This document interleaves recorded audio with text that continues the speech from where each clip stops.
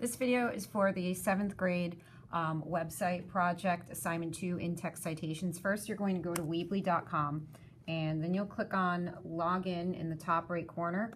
And from here, you'll click on G plus login. Next, what you're going to do is, um, if it pops up with a white window, you'll just click on the X in the top left corner, and then you'll click on Edit Site.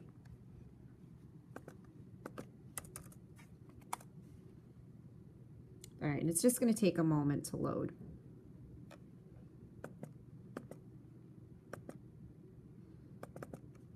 All right, so um, anyway, what you're going to do from this point is you're going to click on um, pages and you're going to be adding another page. So there's already going to be an about page and a contact page. We're gonna, just going to click on the about page and we're actually going to change the name of it.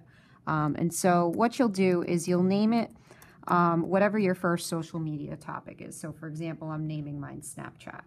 Um, and then what I'll do is I'll click on build to be able to actually build the page. So from here, what I would do is I would click and drag the title box to appear in the blank space. So I'll just click and drag that title box. And then we're going to um, just type in the word Snapchat. Um, and actually it's a little difficult to see, but we're going to just go ahead, put in that title box.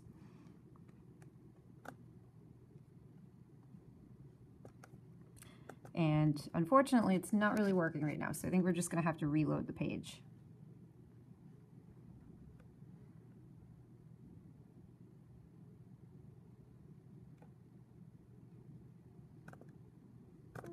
Okay. All right, there it is. Unfortunately, it kind of messed up a little um, earlier. So anyway, there's that title that we dragged in that it wasn't showing before. So anyway, you'll click um, in here and you'll type in the title of your first topic.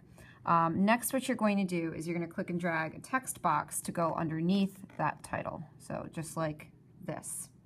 Um, and then you'll click where it says click here to edit. And basically what you want to do is you want to um, go and open up your work from last class. So um, you want to go into Google Drive and you want to then open up the um, copy of Finding Reliable Websites social media project um, because that's going to give you the two websites that you used for your research. So anyway, I would just go ahead and scroll down. And then I would go to my first website, which um, happened to be the Snapchat website. So I'd click on it once and then click on the blue link that appears underneath it. Um, and so that way I can start to get some information about Snapchat from that particular website. Anyway, just to show you what you want to do is um, basically you want to have um, a couple of either one short paragraph or two short paragraphs um, that tell a bit about what you learned about that particular app. So um, for example, we've got this paragraph here. Anytime you borrow an idea from somebody else, you have to tell the author's name and the year in parentheses. So anyway, you want to include um, just a short little paragraph or two um, about your topic. And once again, take a look at where I'm pointing. Anytime you borrow an idea, put the author's name and the year.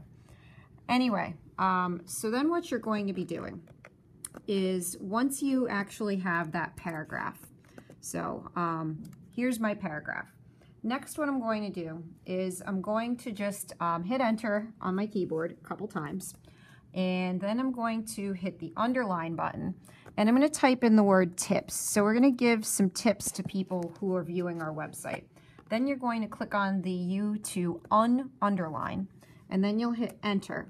And from here, what you'll do is you'll click on the bulleted list button, which looks like three dots and three lines. And then what you want to do is um, type in a tip. So for example, something like always remember that people can screenshot your posts. Um, and depending on what topic you're doing, you might have a different tip. Um, and then hit enter one more time and you're going to do a second tip. Um, and so, for example, I could say screenshots can be taken without you knowing.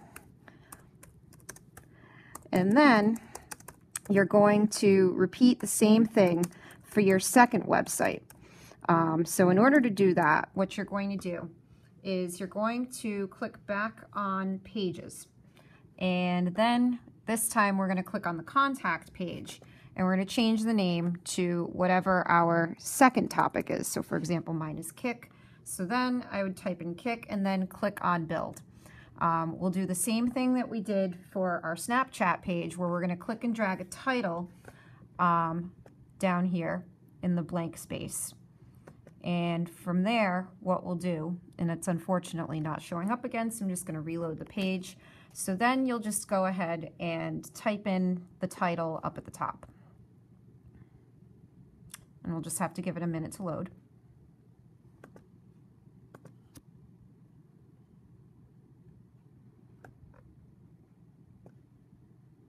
Okay, um, so then we'll just go ahead and type the title and then you'll click and drag a text box to appear underneath the title. And um, once again, in that text box, what you want to do is you want to have, um, you know, a short paragraph or two um, about that particular app or topic. And once again, you want to make sure any borrowed ideas, the author's name and the year. Also, um, if you don't put the author's name in the beginning of the sentence, you can also do it this way where you have um, the author's name and the year in parentheses. So anyway, once you have that information about your topic, um, what you're going to do is you're going to do the same thing you did before. Um, so you're going to put in some tips. So here's our couple of paragraphs. You're just going to hit enter a couple times, click the U, and then type in the word tips Click the U again to get rid of the underline. Then you'll hit enter and then click on the bulleted list button. Um, and you might say something like, remember that you need a parent's permission. And every app or every topic is going to be different, so make sure you don't copy these exactly. Um, but anyway, then what you'll do is you'll go ahead and hit enter one more time and add in a second tip. Um, and so, for example, this is only for 17 years and older. And then you just want to make sure everything ends with a period, and that's it.